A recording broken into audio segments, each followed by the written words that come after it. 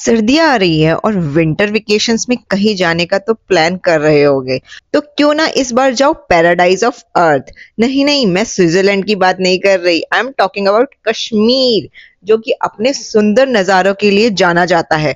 फिर चाहे गर्मी हो, सर्दी हो या कोई भी दूसरे मौसम कश्मीर की सुंदरता कभी कम नहीं होती। इसकी सिक्स डे आइटनरी मेरे चैनल पे ऑलरेडी अपलोडेड है जो कि आप अपने ट्रिप पर यूज़ कर सकते हो। बट आइटनरी बनाने से पहले कुछ चीज़ें जाननी ज़रूरी है। तो आपको इस वीडियो में मैं बताऊँगी ट्वेल्व ऐसी जगह जो आपको अपने कश्मीर ट्रिप में ज़रूर इंक्लूड करनी चाहिए। तो शुरू करें।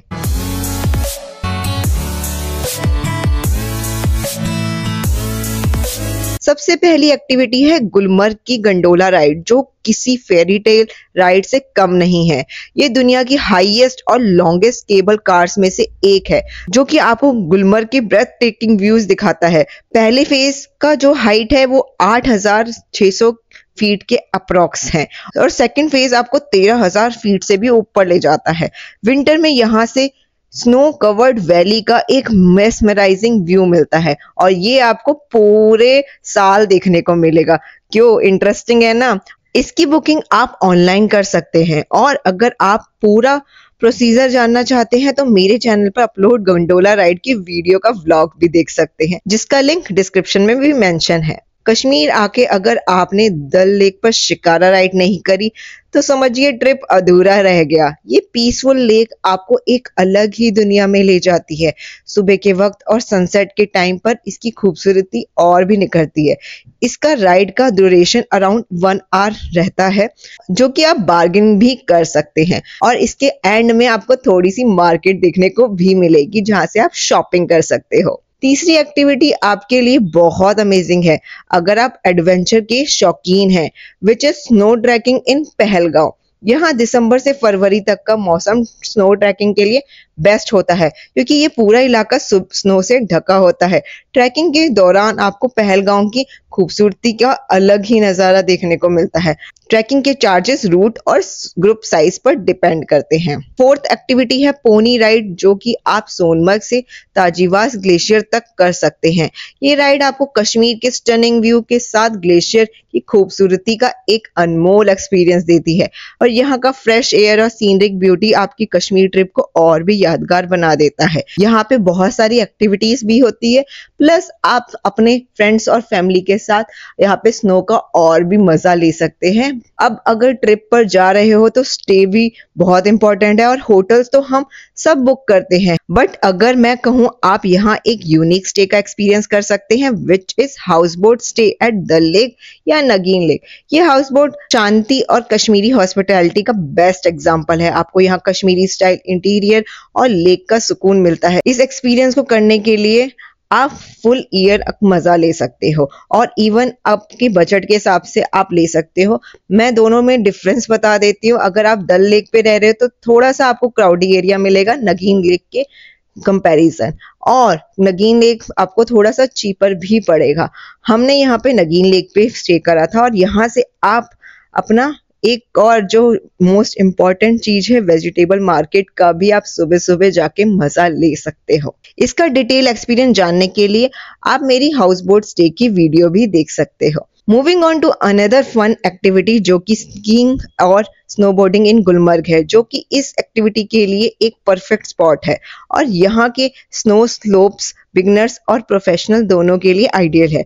दिसंबर से फरवरी का वक्त स्कीइंग के लिए सबसे अच्छा होता है, जब यहाँ फ्रेश स्नो होती है। और टेंशन ना ले, क्योंकि यहाँ आपको सारे इक्विपमेंट मिलेंगे और साथ ही साथ गाइड भी जो कि एक्टिविटी कराते समय सेफ्टी इंश्योर करता है। अब अगर विंटर में कश्मीर जा रहे हो तो गुलमर्ग में एक फ्रोजन वाटरफॉल देखने का एक्सपीरियंस आपको कश्मीर की ठंड और खूबसूरती दोनों का असली मज़ा देगा। ये वाटरफॉल दिसंबर से फरवरी के बीच पूरी तरह फ्रीज हो जाता है और इसका व्यू एकदम मैजिकल लगता है। यहाँ आपको सिर्फ़ नेचर की ब्यूटी इंजॉय करनी है और इसमें कोई एक्स्ट्रा कॉस्ट नहीं लगता। It is a perfect spot for nature lover and photographers बढ़ते हैं एक और सुंदर जगह की तरफ़ बेताब वैली जहाँ lush free meadows and snow covered peaks बहुत फ़ेमस है। और ये वही जगह है जहाँ बेताब मूवी सनी देवल की फ़र्स्ट मूवी शूट हुई थी। और इवन आप जब बेताब वैली विज़िट कर रहे हो तो आपने सुना होगा एबीसी वैली तीनों वैली को विज़िट कर सकते हैं। बट इतना घूम घूम कर थक गए होंगे। नहीं नहीं जल नहीं नेचुरली मेड एप्पल जूस लीजिए जो कि आपको मिलेगा एप्पल वैली जिसका टेस्ट बिल्कुल यूनिक होता है। यहाँ के एप्पल्स ऑर्गेनिक और फ्रेश होते हैं। ये एक फ्रेशिंग ड्रिंक है, जो आपकी ट्रिप में एक स्पेशल टेस्ट ऐड कर देता है। अब जूस ट्राई कर लिया तो ये खाना पीछे क्यों रहना चाहिए? इसलिए कश्मीरी क्विजीन का मज़ा लिए बिना कश्मीर ट्रिप कंप्लीट नहीं हो सकता। रोगन जोश कश्मीरी दम आलू, हवा, नून चाय, गोश्त तवा और सीख कबाब जैसी डिशेस यहाँ के ऑथेंटिक फ्लेवर्स का परफेक्ट एग्ज़ाम्पल है। ये आपको काफ़ी लोकल रेस्टोरेंट में इजिली मिल जाएगी। और एक बार ये डिशेस ट्राई करना तो बनता है। बढ़ते हैं ऐसी जगह की तरफ़ जो आपका दिल गार्डन गार्डन कर देगा which is tulip garden in Srinagar जो सिर्फ़ अप्रैल के महीने में ही ओपन होता है। यहाँ अलग अलग रंगों के हज़ारों टुलिप्स देखने को मिलते हैं। ये गार्डन सिर्फ़ कुछ ही वीक्स के लिए ओपन होता है और entry fees around fifty rupees से हंड्रेड रुपीज़ होती है। अगर आप अप्रैल के मंथ में कश्मीर घूमने जा रहे हो तो ये गार्डन मिस मत करना।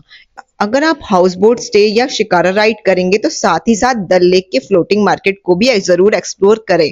यहाँ सेलर्स अपने बोट्स में फ्रूट्स वेजिटेबल्स और कश्मीरी क्राफ्ट्स बेचते हैं और यहाँ ये मार्केट एकदम लाइवली होता है।